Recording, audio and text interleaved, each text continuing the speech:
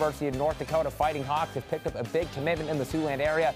Hinton two-way talent Gabe Anderson made it official via his social media. He'll be taking his talents there. The dual threat quarterback led Class 1A District 1 in rushing TDs and rushing yards, notching 871 yards for 12 scores on the ground. Anderson, the lone player in the district to exceed 1,000 all-purpose yards.